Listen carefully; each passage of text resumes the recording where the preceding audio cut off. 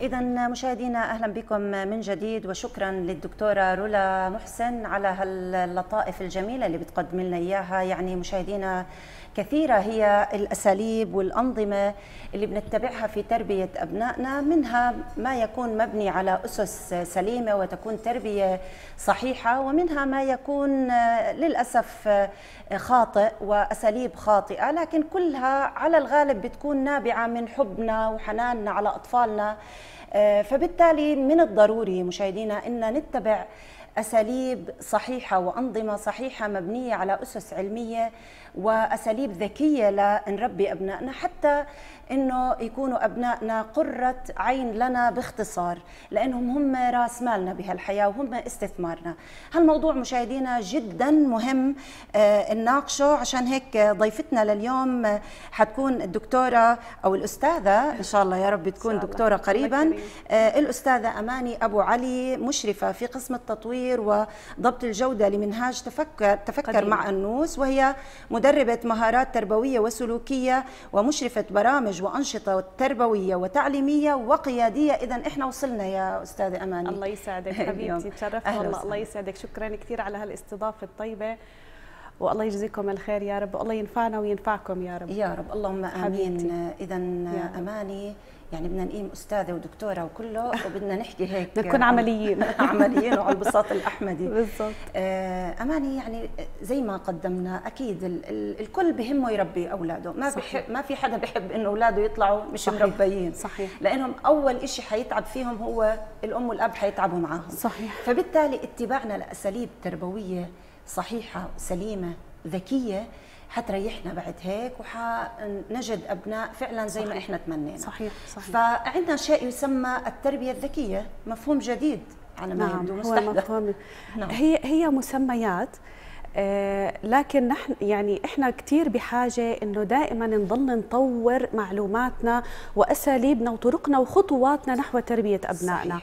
يعني بصدق زمان كانت صحيح التجربة والعفوية والأساليب اللي هي بناء على خبرة سابقة لكن في الوقت الحالي لا تنفع مع أبنائنا. لهيك إحنا بنلاقي في مشاحنات بين الآباء والأبناء كبيرة. صحيح.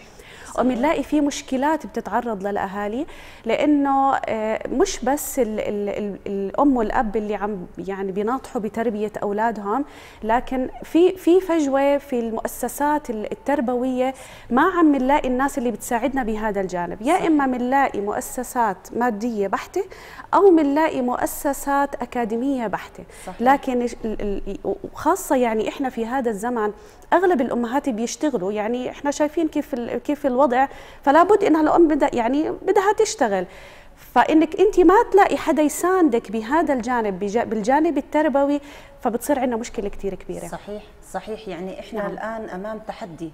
كبير. إنه الآباء والأمهات صار عليهم لود التربية ضمن الأساليب الحديثة اللي بتتوافق صراحة مع كل التحديات صحيح صحيح. آه صار شيء كثير مهم. صحيح. وبالضرورة نعرف شو الأساليب وشو المهارات اللي نتبعها. مع أبنائنا ما بينفع نقول صحيح. إحنا تربينا هيك طيب ليش هم مش زينا؟ صحيح. لأنه إحنا ربوا أبنائكم لزمان غير, غير زمانكم. زمانكم. فشو هالمهارات والأساليب اللي ضمن هالتربية الذكية. أكيد الموضوع هو واسع. آه هو واسع وكبير بس بداية خليني أحكي شو هي التربية الذكيه نعم. التربية الذكية هي هو نظام. مبني على قاعدة تربوية إحنا بنعرفها من زمان اللي هي أو قاعدة أو مقولة أو حكمة ما بعرف إيش بالضبط هي الوقاية خير من العلاج. نعم.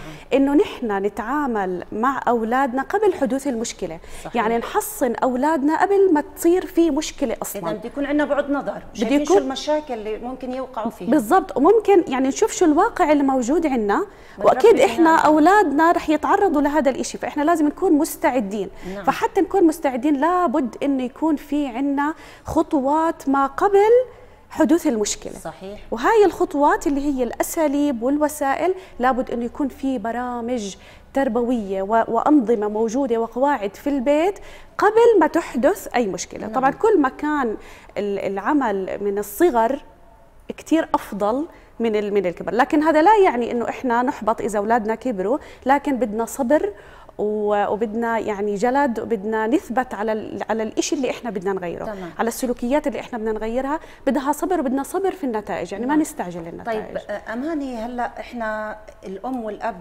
بدهم يمارسوا أو يربوا أبنائهم تربية ذكية. شو الأشياء اللي هم لازم تكون موجوده عندهم عشان يقدروا يقوموا بهذا الدور؟ آه، هل المرجعية مرجعيتهم الدينية والفكرية والثقافية والعلمية؟ وخلينا نحكي حتى آه، خبرتهم بالحياة مهمة جدا في هذا النوع من التربية. نعم هو لازم يكون في توازن. وصراحة يعني أول خطوة للأهل العلم. نعم. يعني معلومة اليوم مش زي معلومة امبارح سلوك اليوم مش زي سلوك امبارح فإحنا كتير مهم إنه يكون في عنا أسس علمية منهجية حتى نمشي علشان نكون واثقين إنه النتيجة اللي راح تطلع هو في نتيجة صحيح. أما إني أنا أمشي على تجربة ممكن تزبط معي ممكن ما تزبط معي هذا أه. وقت وهذا صحيح. عمر فإحنا لازم نستفيد من من الوقت ومن عمر هذا الإنسان اللي بين إيدينا لابد أنه يكون في علم ثابت راسخ طبعا العلم يؤخذ من يعني آه، بأكثر من طريقة ممكن في أشياء مسموعة في كتب في لكن لازم أضل أواكب قل هل يستوي الذين صحيح. يعلمون والذين لا يعلمون في دورات لابد انه في, في دورات في كتب في مسموعيات وسبحان الله يعني حتى في دورات موجودة بتسمعيها بدلك على كتاب تقراي هذا الكتاب الكتاب بدلك على شيء ثاني وهكذا فكل ما الواحد يعني أنا لهلا بتعلم أشياء يعني بضل أقول وبنخطأ مع أولادنا لكن بنضلنا نحاول نقلل نسبة الخطأ في تربيتنا لأولادنا نعم. طيب أماني شو الأساس في التربية يعني إحنا شو بداية الإشي اللي بدنا نربي أولادنا عليه وننطلق منه لباقي يعني الأنواع والأساليب من التربية أهم أهم أهم نقطة إنه الولد يكون ماخذ عن نفسه فكرة ومعتقد إيجابي أه.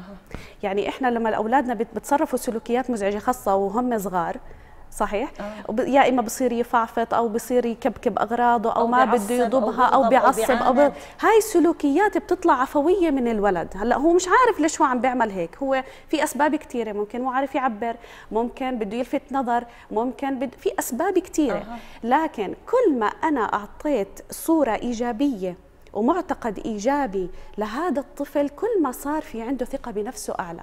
جميل. كل ما رفعت ثقة أكثر كل ما صار عنده حب لنفسه وحب للآخرين بصير يحب إمه بصير يحب أبوه فبصير يعني يستجيب لكل بصير توجيه. يستجيب بسهولة نعم. طبعا مش لكل الأشياء لكن عشان هيك لازم نضلنا مواكبين ولازم نضلنا شغالين على نقطة نقطة نعم. من إحدى الأساليب في التربية الذكية إنه إحنا نحدد سلوكيات معينة إحنا شايفينها سلبية أه. شايفينها بهذا الطفل أو بهذا الإبن بحدد طبعا حسب عمر حسب العمر. ممكن يكون هلأ هي التربية الذكية بتناسب الأعمار من ثلاثة فما فوق. نعم. يعني بيبدأ بيبدأ الأم الأب بتحسين وتعديل السلوكيات. فحسب العمر لهذا الطفل أو هذا الابن بنحدد السلوكيات المزعجة المزعجة عددها مثلا من ثلاثة إلى ثمان سنوات نحط مثلا تقريبا خمس بنود ما نكتر أو تمام. أقل من عمر تسع سنوات فما فوق نحط عشرة أو أقل أه. سلوكيات بدنا نعدلها بناء عليها. بناخذ هاي السلوكيات ونبدأ نشتغل عليها. وبنشتغل عليها ضمن برامج وأنظمة وقواعد تنحط مع الولد بمشاركة أو بدون مشاركة مع حوافز ومكافآت ومخالفات إذا أنت خالفت وكذا. لكن الاصل الأصل في الأهل الثبات على الالتزام في هذا البرنامج أه. ومتابعة هاي البرامج ما يتهاونوا فيها. نعم. هذا يعني هذا شغل صراحة. صحيح. يعني شغل عميق وشغل بيستاهل إنه إحنا نتعب عليه لأنه بدنا نشوف ثمرة صحيح يعني التربية مش شيء آه، هيك آه، جاي سبحانية. بالضبط على السبحانية شيء بده يكون مدروس ومخطط نعم. ومتابع و... نعم. طيب أين تجد الأم والأب كل هذا الوقت وين يلاقوه؟ عشان يمارسوا كل هالبرامج ويرصدوا السلوكيات الخطأ وهم في أعمالهم وفي أشغالهم. وإذا روحوا على البيت آه، على التليفونات. يعني الموضوع بده موازنة. كل كل صراحة آه، أسرة هي أدرى بوضعها. بس الأصل الأولوية طول ما أنا قبلت على نفسي الزواج وقبلت إني أنا أجيب أولاد مسؤولية. فانا مسؤوليتي الأولى هي الأولاد مش نعم. إني أنا أجيب الدخل نعم. يعني الأب هو المسؤول الأساسي الأم هي دورها بمساندة الأب لكن مش هي دورها الأساسي إنها تطلع نعم. دورها الأساسي تكون فعليا تجلس لأولادها لحتى تطلع معهم يعني انت متخيلة لما تقعد مع اولادها هم صغار وتربيهم على نقاط إيجابية عاليه قديش رح تحصل بعمر خمس سنوات صحيح. كم هائل من السلوكيات الإيجابية لابنها وكم هائل من من النظرة الإيجابية لنفس الولد صحيح. فما بالك لما يطلع ستة سبعة ثمانية تسعة بعدها روحي اشتغلي اعملي اللي بدك إياه صحيح طب أماني يعني ممكن إنها الأم الآن بناء على إنه صار زي ما تفضلتي إنه عمل المرأة في خارج البيت صار شيء تقريبا صحيح. واجب يعني صحيح. نتيجة الظروف صحيح. الاقتصادية ممكن الأم بذكاء أو باساليب بأساليب ذكية تستغل وقت وجودها أو هي كنموذج نعم. في حياه أبنائها نعم. وهي وزوجها أو أثناء توجههم معها إلى عملها وهي بدها تحطهم في الروضة أو في الحضانة أو في المدرسة. صحيح. هاي الفترات تستغلها بذكاء طبعا. بحيث تتبع أساليب تربويه طول ما في خطة ماشية عليها بتنجح حتى لو كانت بتشتغل 8 ساعات في اليوم. يا عيني عليك يعني في أمهات قاعدين بالبيت ما في نتائج. صحيح. في أمهات عاملات بس في عندها نتائج لأنها عارفة شو بدها تعمل. صحيح. في أمهات قاعدة بالبيت بس مش عارفة شو بدها تعمل ولا عارفة شو بدها تبدأ. اذا هي المعرفة والتخطيط. نعم والعلم. نعم. نعم. طيب إحنا يعني دائما نقول عن موضوع النموذج. الإنسان النموذج لأبنائه والقدوة. نعم. لابنائه فهاي النقطة بدنا نركز عليها كثير يعني أنا لما بكون قاعدة في البيت و...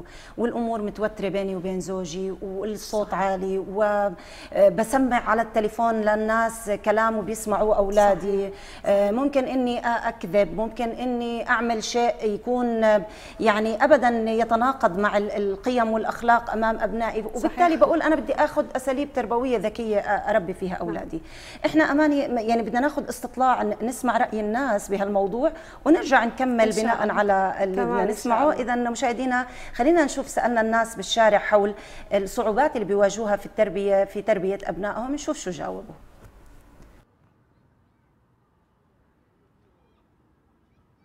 والله بالتدريس أكثر شيء يعني و... أيام يعني ما في مكان آه والنت هاي بصر يعني مشكلة. يعني كثير الصغار يعني حاليا متعلقين بالتلفونات وبالنت يعني. أبنائي الحمد لله كبروا وتجوزوا. ضل عندي اثنين. الله ييسر أمرهم ويرضى عليهم. هسه المشاكل بتواجهني من وراء أحفادي. أحفادي بغلبوني. آه زي مثلا ما بردوا. هو كل الجيل هيك. مش بس هم. بطلع على غيرهم. نفس الإشي. الله يهديهم. الدراسة التلفونات. بس هاي المشاكل اللي بتواجه أي واحد.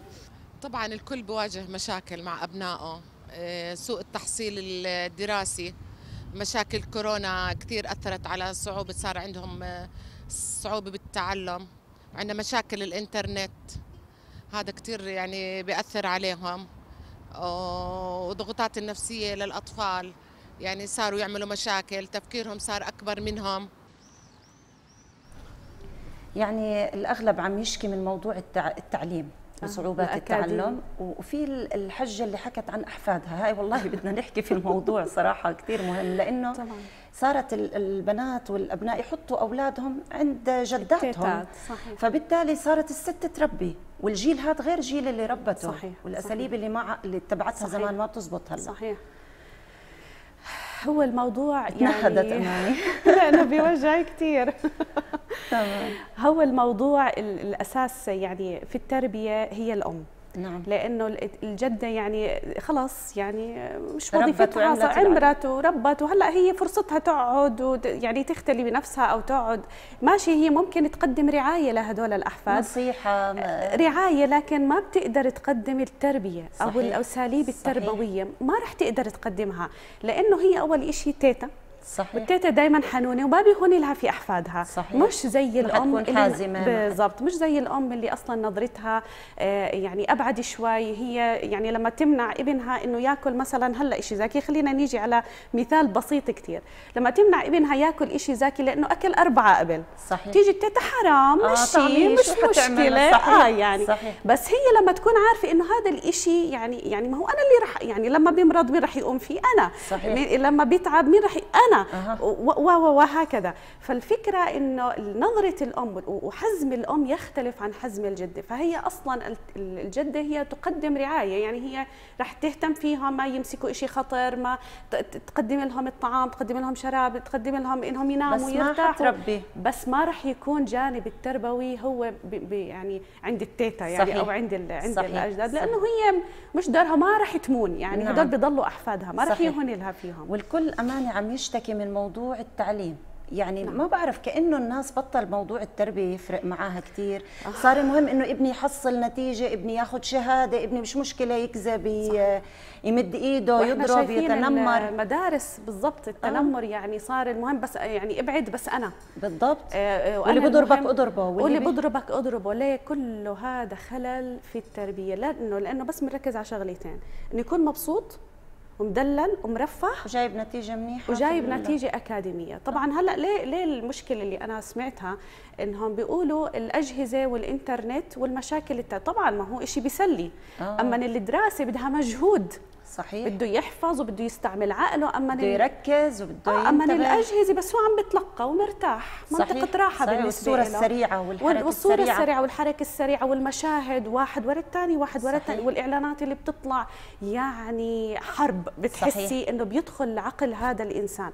فإذا ما كان عندي أنا ومحددة أوقات معينة ما نحرمهم لكن نحدد أوقات معينة ونحط برامج. هاي البرامج فيها إنجازات ويشوف هو إنجازاته فيها وبنفس الوقت برامج تعديل سلوك أو يعني نتخلص من السلوكيات المزعجة لحتى نحط بدالها سلوكيات إيجابية حتى يشعر هو نعم. بشيء كثير حلو إني أنا موجود على هاي الحياة في شيء بعمله صحيح أنا لما بتقبل حالي وبحب حالي وبشوف شو الأشياء والمواهب والمعتقدات الموجودة عندي بطلع بصير أحب حالي كثير بصير أشتغل بشغف على الإشي اللي أنا بحبه. صحيح. بس طول ما الإنسان ما حدا عم بيقول له ولا هو عارف شو بده ولا عنده أي فكرة عن نفسه أصلا صحيح. فأنت متخيلة؟ فهذا هذا هذا اللي بتنمر كثير في المدارس وهذا اللي بينتشر كثير للأسف.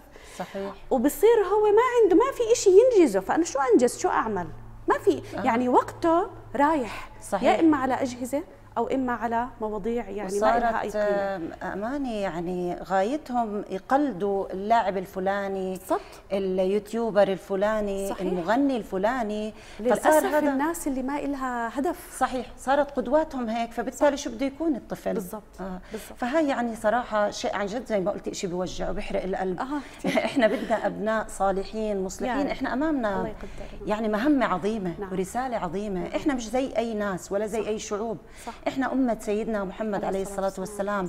آه، بدنا ننشر دين آه، آه، رب العالمين وشرعه. بدنا ننشر العدالة. بدنا ندخل الناس الجنة. صح صح. بدنا نحرر فلسطين. بدنا نفتح القدس. بدنا ندافع عن أخلاقنا تظهر. نعم. بدنا أخلاق الإسلام كمان تظهر. صحيح. إذا ما ربيناهم عليها ما راح تطلع. هم موجودة عندهم. نعم. بس هم مو مو عارفين كيف يطلعوها. صحيح. شوفي لما الرسول عليه الصلاة والسلام أسيء له قد إيه الناس انتفضت وقد إيه يعني الحرقة والمشاعر. فإحنا بدنا هالشيء يترجم بتربيتنا لأبنائنا على منهج سيدنا محمد عليه الصلاة والسلام. طيب أماني إحنا في نهاية لقائنا بس إحنا في عنا فقرة هي أهم ما تم تداوله على وسائل التواصل الاجتماعي. نعم. حنحكي عنها بوجودك وتناقشيها معنا يا أستاذة أماني. طيب إحنا عندنا قضيتين اليوم كثير انحكى فيهم. على الفيس آه، قضية زفاف آه، ابنة عائلة الرجبي مشاهدينا واللي زفتها عائلتها عروس أمام ركام منزلهم في بلدة سلوان. شوفوا حجم التحدي والعزيمة والإصرار. لما أفراحنا بتطلع من أحزاننا من تحت ركام بيوتنا وبنصر إن نفرح ونزف عرائسنا فوق ركام بيوتنا لأنه إحنا عارفين ومتأكدين إنه الحق حيرجع لنا وحنعمر البيوت من تاني وحنجيب إن شاء الله النسل الصالح اللي يحرر ويبني. خلينا نشوف زفاف الرجبي. سرت فيه كمان إنها بدها تثبت للعالم إنه إحنا بنفرح ونعرف نفرح. وشكر في الاحتلال. مبسوطين آه، رغم الهدم ورغم الاحتلال وإنها بنتي صممت إنها تطلع من بيتها المهدوم. تطلع من بيتها وهو البيت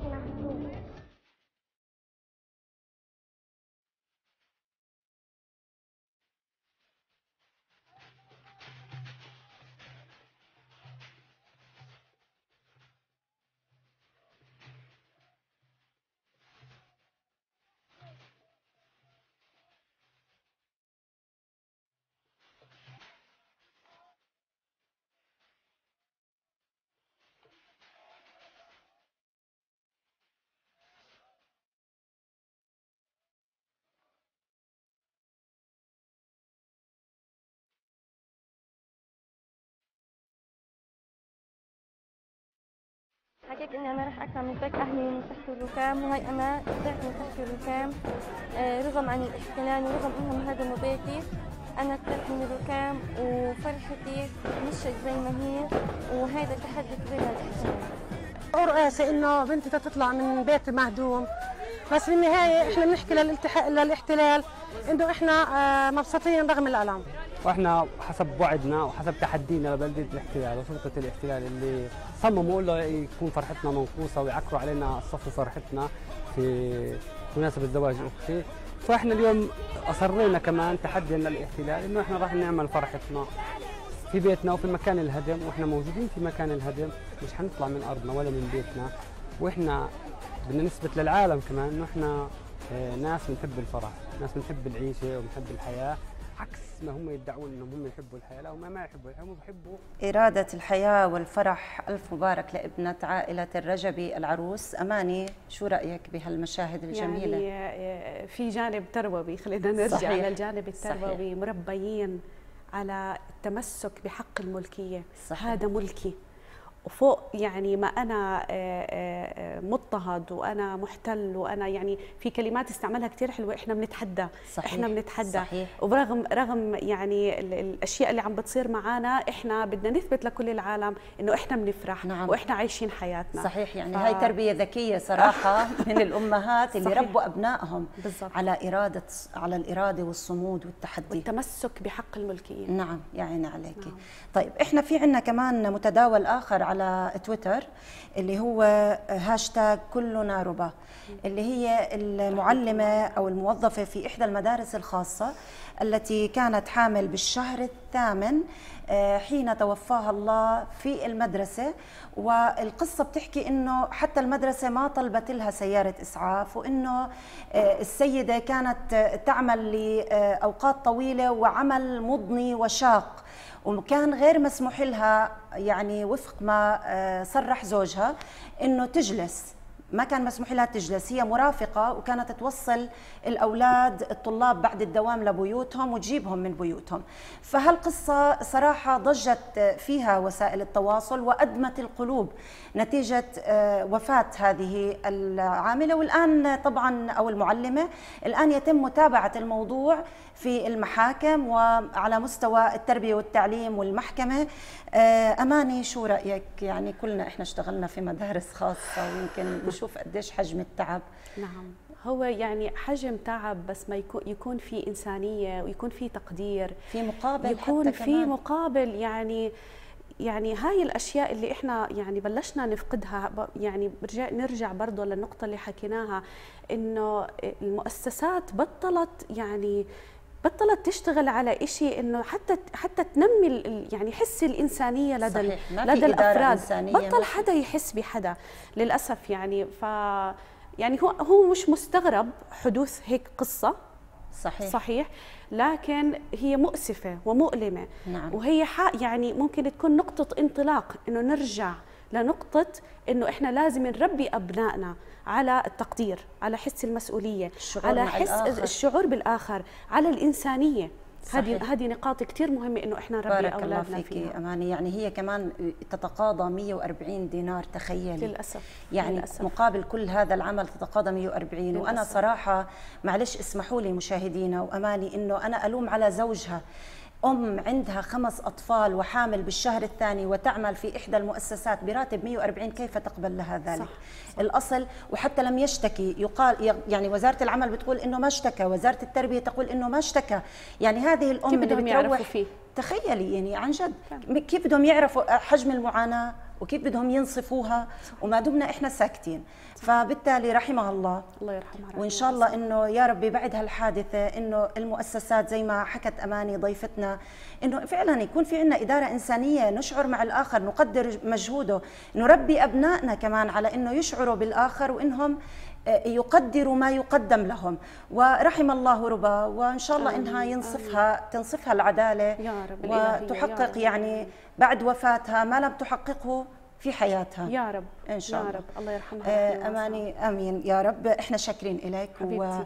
وصراحة آه، يعني هاي الفقرة بالذات حاسها اليوم بنكهة مميزة الله يسعدك يا بحضور. حبيبتي، أماني الله يسعدك. آه، أبو علي حبيبتي. وهي المشرفة في قسم التطوير وضبط الجودة لمنهاج تفكر مع النوس ومدربة المهارات التربوية والسلوكية والمشرفة في برامج وأنشطة تربوية وتعليمية وقيادية.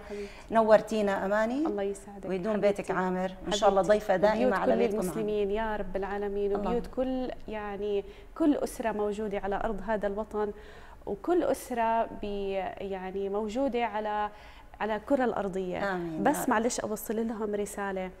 أبنائكم في كل ابن عندك نقطة تميز عظيمة. فاحرصوا إنكم أنتم تكتشفوها وخلوا أبنائكم يكتشفوها لحتى يشعروا إنه هو موجود على هاي الحياة وفي إشي حلو بده يعمله بهاي الحياة. بهالرسالة الحلوة وبالإشي الحلو اللي بده يعمله هو ونعمله إحنا بتربيتهم نختم حلقتنا لبرنامج من برنامج بيتكم عامر. نتمنى مشاهدينا تكون اليوم حلقتنا نالت إعجابكم. إلى أن نلتقيكم في حلقة قادمة غدا إن شاء الله من برنامج بيتكم عامر. نستودعكم الله الذي لا تضيع ودائعه. في أمان الله.